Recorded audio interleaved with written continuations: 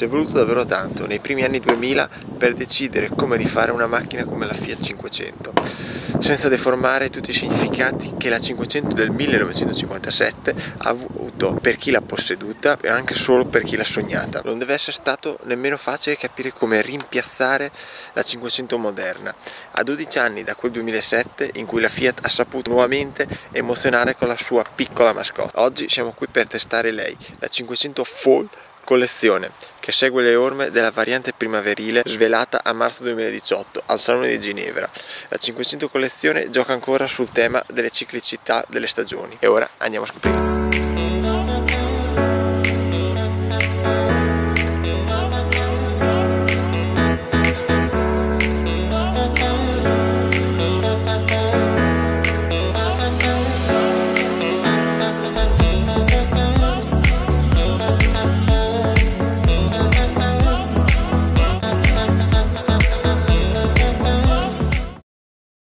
Questa edizione propone dunque accostamenti tipici dell'autunno e dell'inverno attraverso ricercati abbinamenti di colori inediti e di materiali esclusivi. Gli elementi spaziano dalla livrea bicolore chiamata Brunello, che associa le tinte Bordeaux Opera e grigio Carrara, ai cerchi da 16 pollici con finitura ramata passando per i rivestimenti interni gessati. Per quanto riguarda lo spazio, questa vettura è tra le più piccole auto da città, vista la sua lunghezza di 3,57 m. Guardate un po'. Grazie anche alla sua linea un po' arrotondata, sfrutta al massimo i suoi spazi. Partiamo da bagagliaio con una capienza di 185 litri che nell'uso quotidiano è abbastanza capiente, mentre se si fa una gita fuori porta con amici caricando le valigie diventa un po' scomodo mentre è molto buona all'altezza del pavimento come anche il gradino di carico è anche pure inclinato. Passiamo nella parte interna all'abitacolo. I sedili hanno una cosa fondamentale per una macchina a tre porte, il meccanismo di ribaltamento con memoria meccanica della posizione di partenza, che però non è automatico nel riposizionamento dello schienale. Se si viaggia in due, i posti anteriori sono molto confortevoli, mentre i posti posteriori, per persone alte più di 1,75 m, la comodità in altezza non è proprio il massimo della comodità. Che la testa sfiora il tetto. La macchina è omologata per quattro posti, quindi in centro non ci si può sedere. Molto bene lo spazio per i piedi sotto il sedile e molto buono anche lo spazio in larghezza per i gomiti. Una cosa molto positiva e rara al giorno d'oggi nelle macchine piccole, la tasca dietro allo schienale, che è un optional, però almeno si può avere. Dietro non ci sono bocchette dell'aria o prese elettriche. Ora passiamo alla qualità. Gli interni della 500 collezione ti accolgono in un ambiente elegante, comodo e dal design all'avanguardia. Questa 500, pur essendo piccola e pensata per la città, non dà, non dà la sensazione di essere un'auto troppo economica. Ora andiamo a scoprirlo insieme perché. Questa impressione viene data subito dalla plancia in tinta con la carrozzeria e bella ricca di accessori, dal trattamento e al rivestimento lucido dei tasti. Parliamo anche delle plastiche, pur essendo rigide, cosa molto normale per la categoria di auto che stiamo testando, sono assemblate molto bene. Passiamo anche ai rivestimenti ben fatti dei sedili perfetti per qualsiasi viaggio. Il tessuto elegante con linee verticali in stile gessato e rifiniti in gradevole contrasto grazie al lucido vinile nero. Ora vediamo come è accessoriata. Bisogna dire innanzitutto che rispetto alle altre versioni la versione collezione è il top della gamma. Infatti di serie troviamo dei fantastici cerchi in lega da 16 pollici neri con rifiniture in color rame. Troviamo anche il volante in pelle con comandi multifunzione tetto panoramico in vetro che con 600 euro diventa anche apribile. Uno sfizio che ci si può togliere con 800 euro sono i fari all'oxeno. Di serie la macchina è dotata di clima manuale, con 500 euro si può avere quello automatico. Con 850 euro si può avere il sistema infotelematico più accessoriato, con schermo da 7 pollici, navigatore touchscreen, Bluetooth, ingresso USB aux-in, link system, compatibile con Apple Car e Android Auto e speaker posteriori. Con 600 euro potete avere anche come optional il Beats Audio System. Ora vediamo questa 500 collezione come se la cava in città. Iniziamo dalla frizione che è molto leggera e quindi si riesce a giocare bene sullo stacco.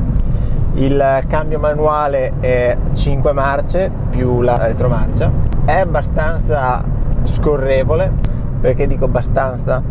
Perché il cambio fa un po' di resistenza nel cambio di marcia, però fa capire bene quali sono i fine corsa.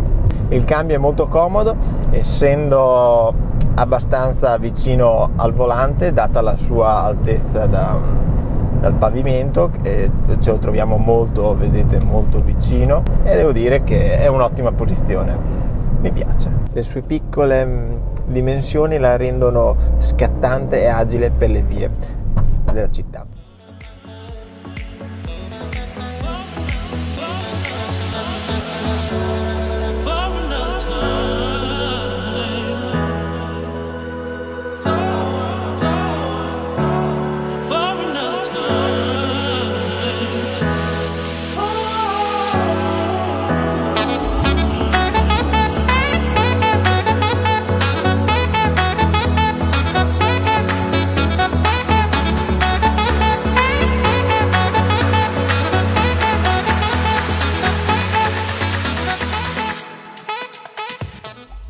In manovra questa 500 è molto facile da parcheggiare anche perché non c'è nessun problema a percepire gli ingombri della carrozzeria grazie anche ai sensori di parcheggio che su questa versione li troviamo di serie. Devo dire che le sospensioni eseguono molto bene il loro lavoro di assorbimento, mentre per quanto riguarda l'assetto è molto bello anche tra le curve, per il motivo che segue molto bene il terreno anche in quelle strade dove l'asfalto è distrutto.